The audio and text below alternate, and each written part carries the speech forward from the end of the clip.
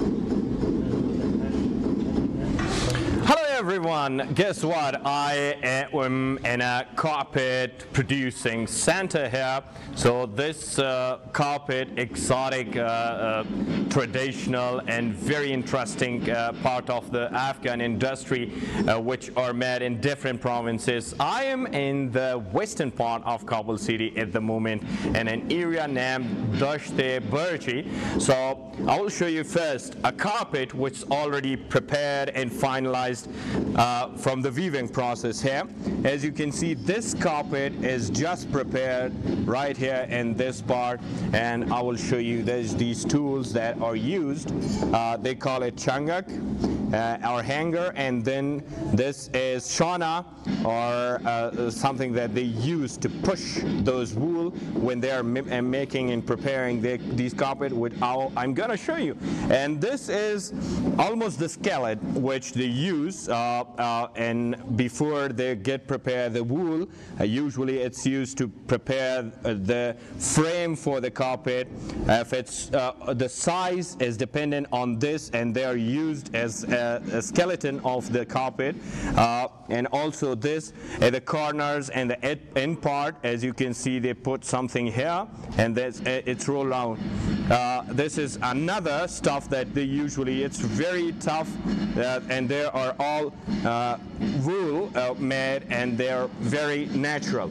So uh, I will now show you in this part there are a couple of girls. They're mostly school girls because uh, the secondary schools in Afghanistan shut nowadays. They got uh, a business for themselves. Uh, they learn weaving the carpets in this section. As you can see, dozens of those girls. This uh, area is full of all, all female workers indeed, as you can see here in this part. So I will show you how they weave in this area. As you can see here, uh, she is really fast in weaving the carpets. This is wool and different colors, but the sizes are specified how to weave the carpets and that when they use it like this, that's the process. A very determined, tiring, and at the same time, uh, for me, it's interesting. As you can see, they use their hands and continuously. They work here from 10 to 12 hours every day uh, in this area. Uh, I will, I will uh, talk with one of them uh, who are sitting right here. Let's speak to them how they observe. سلام با شما خسته نباشین چطور هستی شما اینجا که مصروف هستین در کار قالین بافی چطور یافتین و از چقدر مدت هست که شما در قالین بافی مصروف ساخت این خود را. بازی که چی شفت که یک وقت میشه آغاز کار اینجا که بلندتر صحبت کنیم. جایزی بیشی؟ بیشی Okay, so she says that uh, she is busy uh, from a long time here and she have learned, uh, but uh, mastering the weaving carpet process is something di uh, difficult and it uh, time costly. And I will talk with this lady now right here. شما خود را اول معرفی بکنین و بعد چقدر وقت میشه شما مصروف قالین بافی هستید؟ به نام خدا صبرگل هستم تخلص میکنم خاوری مدت دو هفته میشده که ما در اینجا انجام میده قلیل کار کردن Summer girl. Samargul, and she says two weeks only that she got busy here, and she's learning and a learning process now. But چطور یافتین این پروسه سخت است یا آسان؟ بسیار سخت است. قلم بافتن واقعیت کاری آسان نیست. قبلا که بود ما در خانه هم کار میکردیم و حالا هم در خانه هم دارم و در اینجا هم دارم. چون بعد از اینکه مکتبا برای ما دختر خانما مثلا بسته شده ما اینجا به خاطر قلم کار کردن هم. says it's a tiring and difficult process to weave the carpets and uh, because our school schools, the secondary schools are shut and uh, we uh, saw this uh, uh, factory as an opportunity for ourselves and got busy learning carpet weaving. Uh, but it's still, she says, a process which needs time, focus and learning it is not an easy task. چه فکر میکنین که تا چی مدت شما میتونین تیزتر شوین و حالا که شما دو هفته آمدین چقدر می می فکر خب. میکنین تیز شده دیگه ما خواستم خلفه کار هستیم دیگه کار ما اینجا عالی است از دیگران. ما که هستیم مای 6000 می‌گیریم دیگه. از ما که اینا پایین تر می‌گیره. نظر در کار ما باز فرق می‌کنه. یعنی خودت تیزتر یاد گرفتی. بله. She, says that uh, I've been here for two weeks. Uh, I learn it very fast, so uh, she's a quick learner indeed. And uh, she says I'm very good now. Uh, the payment here for uh, the workers is from, if we count it from Afghani, from uh, 4,000 uh, to 6,000 Afghani. And this lady, Samargul, uh, she earned 6,000 Afghani, which is almost around uh, 70 to 80 dollars per month, and that's a very low wage indeed for the workers who work here. And uh, carpet weaving process is a difficult task because the wages are low.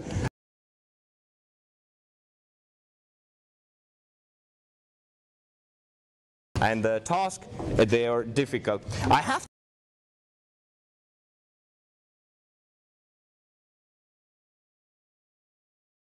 great I mean and that's why uh, they have nothing to do nowadays. Either they have to stay at home without anything to do or they got busy here. So at least they can uh, earn something and learn weaving the carpets here in this section.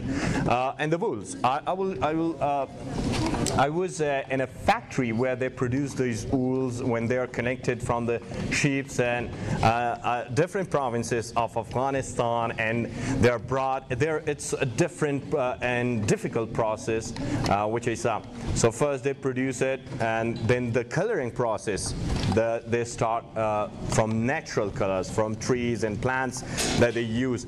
And they boil the water in very big and after that, they put the wool inside those basins uh, or the bowls were, were really big and uh, keep rolling it for hours uh, till they got the color.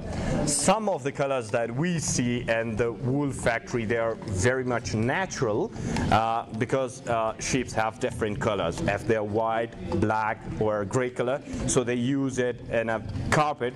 I also saw carpet which was really uh, natural, no coloring, no nothing, and uh, according to the uh, producers, it lasts for many years, and even they are stronger uh, for uh, like uh, against water, against fire, against and much more uh, more things. Different factory in Afghanistan. In this industry, the investment is higher, but particularly if we talk about the investment and marketing process or part, China has been uh, playing a very vital and active role in producing the carpet and promoting Afghan carpets. Like there would be the China uh, International Import Expo uh, in a couple of days, and that's an opportunity, of, uh, according to Afghan merchants, that they will be able to uh, uh, promote their carpets. And not only China, but the biggest market and promotion fact, sector is China, but USA, United Kingdom, and even some European, other European countries, uh, uh, the Afghan carpets uh, are exported, uh, uh, exported, and that's that's the procedure which was, according to many, not possible without the cooperation of regional countries, particularly China. As we see in this sector, you see this, they call it shana, the tool that they use to press the carpet. When it's waved, uh, it needs to be in the same line. So they got maps like, like this. Let me show you this. This is a map which they use to weave the carpets, and it's a you can see it's a small map. Every section, like for example, in that section, if these two girls are working in this sector, so they got this map, they use the colors from here, they use wool, and then they see this map in front of them, the graphic designs that are used uh, uh, for carpets, and then they follow this, the colors, and every line of them, uh, the millions of lines uh, finally equals to a carpet, and this tiring process, it takes days and nights of working, even some uh, longer carpets like uh, 12 uh, or 16 uh, meters long carpets, it takes about a month. And these are the working force, the human uh, resources uh, for producing the carpets in Afghanistan. And as you can see, the Afghan carpets are really famous for its quality because the quality matters at the end of the day. And uh, very good markets uh, in many other countries, particularly in China. I've been talking with uh, some producers. They showed me even a very large studio which will pr- prepare something different and will show you in a different uh, format. Uh, uh, they are promoting their carpets from Afghanistan. They have their shops and uh, marketing in China and United Kingdom and the USA and other countries. So this is how the merchants are dealing with the carpet and, and about that it's time uh, taking, uh, but the merchants say and the producers say they need visas, they need ways, they need air corridors uh, to finally uh, import their carpets to different countries. I will go to this part uh, and will show you. These are also the school girls, like all of them are school guy, uh, girls, and they're, they're uh, now busy with weaving the carpets. See this process. This is only one line of the carpet. So first, they use this as the main skeleton or uh, structure of the carpet. And then when it's ready, they will use the wool here. Again, everywhere there are wools. For example, blue, green, dark green, and gray in different colors. And at the end of the day, like I showed you, this carpet, it's produced. This is the opposite side. Let me show you the right side of wh- wh- which they weave. This is the right side, the upper side of the carpet. So it is not the final stage. As you can see, this is not well, very well pre- prepared. The graphics and the flowers or designings that you see, they, they are now in its first stage.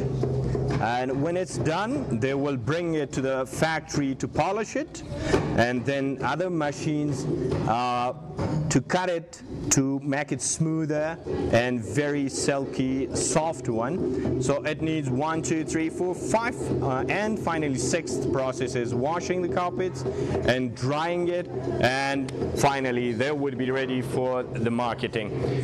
Uh, it needs much more energy at the same times. Like you see, they've been sitting here uh, on these wood because it's a traditional. Uh, Afghanistan has been producing carpets, the wool carpets, uh, for centuries, uh, and mostly in the central provinces like Bamiyan and also Ghazni. They were the main uh, provinces, but not limited now to the uh, central provinces. It's now produced in uh, eastern part of the country like Nangarhar and also Kunar uh, and the same uh, systems they've installed in different provinces. And the businessmen, they say the human capacity is very good. They're expertise. Uh, this is the newly learning section, but there are experts among them. I will now go with an authority and talk with them. Uh, آقا رضا. آقا رضا. I will talk now with this uh, gentleman who is responsible for this uh, part of the carpet weaving and producing uh, factory. So I will talk with him. Uh, and as I, I talk with him, I will use my mic, of course. Uh, آقا رضا زمانی که شما یک قالین اینی قالینه که ما مثلا نشان میتیم تولید می‌کنین چقدر وقت می‌گیره؟ او نظر در کار است فی متر 15 روز یک متر در 15 روز کار می‌کنه کارگر Uh, it, uh, one meter long uh, carpet, it takes 15 days. So this is six meter long, right? And it takes like if you calculated more than three months. Just this carpet took time, you know? There, every line, every coloring, and every process چقدر افراد در کمپانی شما در شرکت شما مصروفی کاروبار هستن فعلا؟ مصروف کاربار از نظر تعداد یک کارگاه 5 نفر.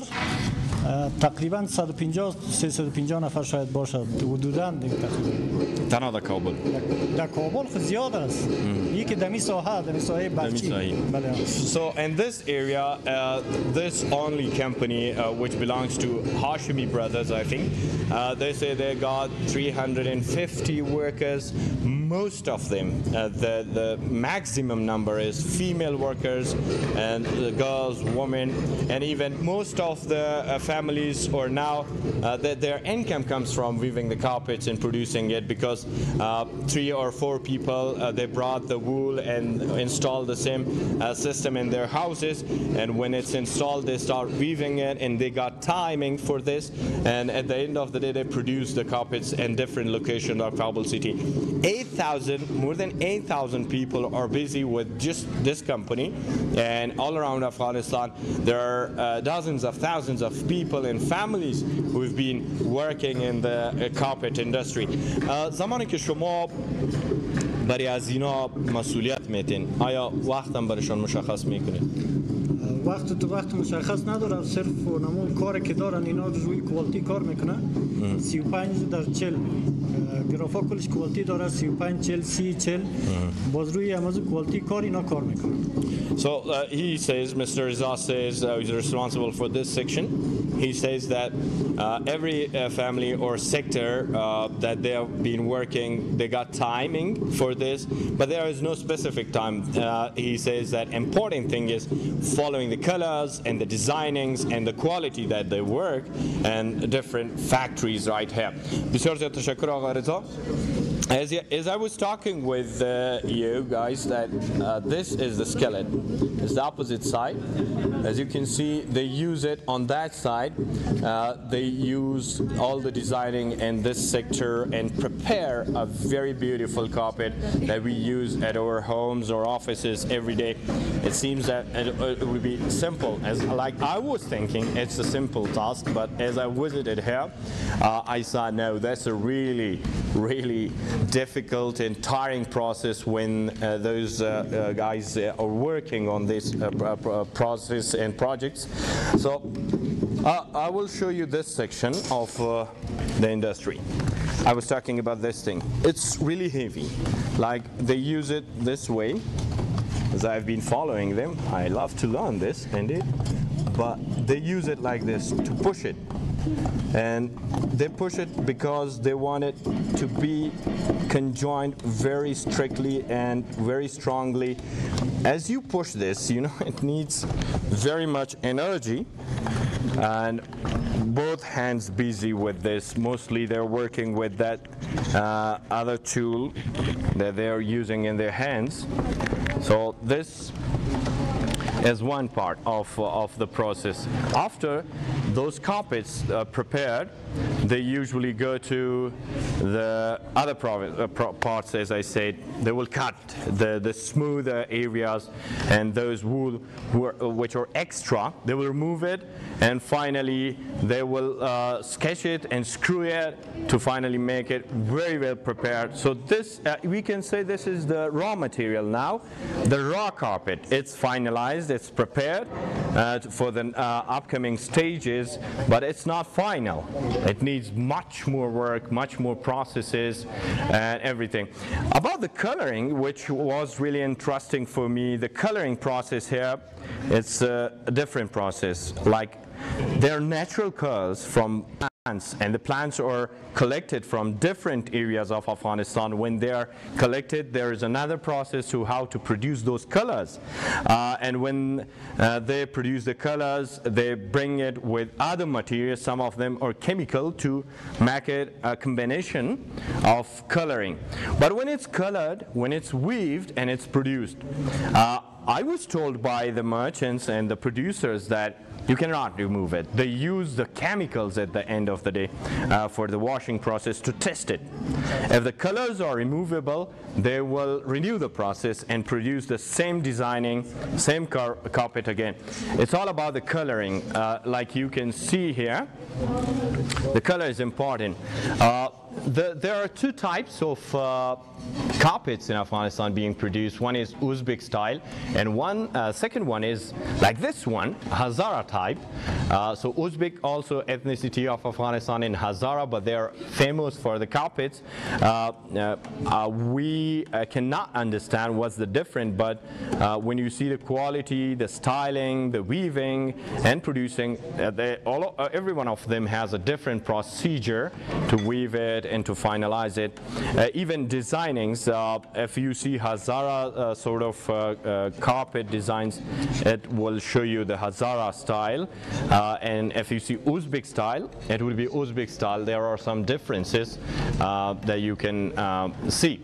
But they're not limited. Uh, as the merchants and the producers uh, want to produce the carpets, they get orders. Uh, and even the graphic designs. For example, if you want to produce a lot of carpets for selling outside the country, you can just send them the graphic designs well prepared and they will change it to the designs, like I showed you, the map that they use uh, to weave it. And that's the process that, according to them, uh, they are now using different sort of uh, designings and themes and the carpets in Afghanistan, and now they're, they're getting modernized. At the beginning, no factory was available, even the washing process uh, was not available. The only thing was just this uh, installation of the framework that they've been using and the wool with these two tools. It's still the same, but other uh, parts of the producing, it's different now. So this was the carpet uh, weaving section and the carpet producing is an exotic part of the Afghan traditional uh, uh, industry. And the carpet have been famous for their quality, for their colorings and most of those who have been living abroad uh, they're now, they have now access to Afghan carpets uh, but there's much more to be needed for example how, for the export to, for the merchants and businessmen those who have been producing carpets in the country uh, and the aerial uh, connectivity, which Afghanistan now suffers a lot. Uh, I hope you've been uh, enjoying this uh, sector and uh, I will now go to this section as you can see. let me show you again uh, as I was talking about this, I was searching to show you exactly what I was telling. The map that they are using and these tools look the they they are just beginners you know they are not the master they have uh, they have not mastered the process yet but they're still very fast. Most of them have been working for months because the schools as i said they're shut and they're using uh, uh, they're uh, investing their time on weaving the carpet and learn it. Uh, from other side people of afghanistan has been in a position that the market the human resources are very huge. But the thing is, the wool, uh, most of the time the lack, the, those who produce the carpets, they lack the wool, they lack the other material that they've been using uh, for this process, uh, and they say they need much more connectivity with the regional countries, and that's why China is available to finally boost uh, the market for Afghan carpets and promote them uh, with different uh, meetings, different exhibitions like the China International Import Expo or the CIIE. So for now, that's it, and I hope you guys have enjoyed. See you soon.